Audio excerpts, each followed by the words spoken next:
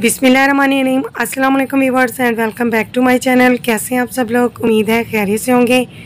आज मैं आपके लिए बहुत ही मज़ेदार और अलग किस्म की पंजाबी सवैयों की रेसिपी लेके आई हूँ। ये हाथ से बनी हुई सवैयाँ होती हैं, बहुत इजी बन जाती हैं, बहुत ही मज़े मज़े की और अलग किस्म की सवैयाँ हैं। आपने इसे ज़रूर ट्राई करना है और अपना फ़ीडबैक मुझसे शेयर करना है।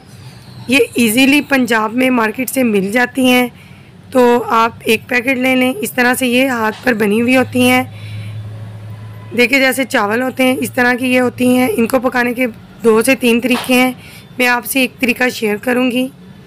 यहाँ पर मैंने एक पैन ले लिया है। इसके अंदर मैंने आधा कप देसी घी ऐड किया है। आप चाहें तो आप बनास्पति या फिर कुकिंग ऑयल भी यूज़ कर सकते हैं। सबसे पहले मैं इनके अंदर सवैयाँ ऐड करूँगी और इन्हें हमने रोस्ट करना है तकरीबन पाँच से छः मिनट के लिए।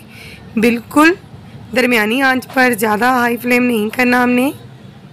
जब हम इनको थोड़ा सा रोस्ट करेंगे तो इनका कच्चापन जो है, वो दूर हो जाएगा।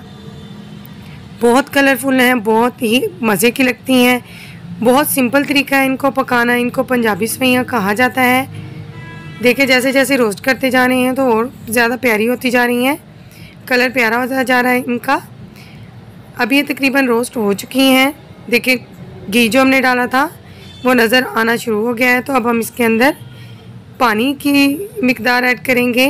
पानी की मकदार हमने जितनी सवैयाँ हैं, इनका डबल डालना है, ताकि अच्छे से इसमें नरम हो सकें। अच्छी तरह से चम्मच को हिलाएँगे और अब हम इसके अंदर शुगर ऐड करेंगे। मैंने हाफ़ कप यूज़ किया है, आप एस टू टेस्ट यूज़ कर सकते हैं और अच्छी तरह से हम इसे मिक्स करेंगे। और इसके पकने का वेट करेंगे। अगर आपको मेरी वीडियो पसंद आए तो प्लीज़ मेरी वीडियो को एक छोटा सा लाइक करें, चैनल पर नए हैं तो मेरे चैनल को सब्सक्राइब कर लीजिए। साथ दिए गए बेल आइकन को ज़रूर प्रेस किया करें, ताकि मेरी हर नई वीडियोस का नोटिफिकेशन आपको मिल सके। देखिए, बबल्स आना शुरू हो गए हैं। हमारी सवैयाँ जो हैं, वो बिल्कुल सॉफ्ट हो चुकी हैं। आप चाहें तो आप इसको दूसरे तरीके से यानी कि बॉईल करके भी बना सकते हैं।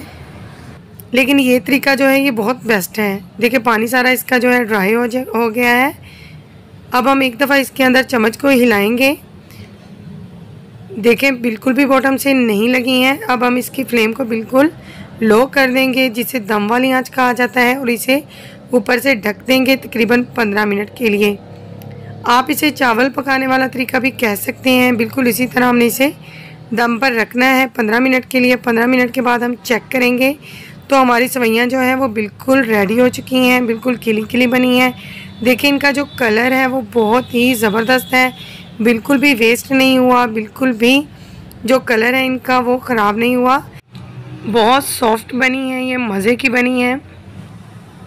अब हम इसे किसी प्लेट में शिफ्ट करेंगे तो आप देख सकते हैं कि बहुत ही ज़बरदस्त लग रही हैं, बिल्कुल सॉफ्ट हो चुकी हैं ये। अगर आपको मेरी वीडियो पसंद आए तो अगेन रिक्वेस्ट है कि मेरी वीडियो को छोटा सा लाइक कर दें। इस रेसिपी को ज़रूर ट्राई कीजिएगा, अपना फीडबैक मुझे शेयर करना मत भूलिएगा। थैंक्स फॉर वॉचिंग अल्लाह हाफिज़।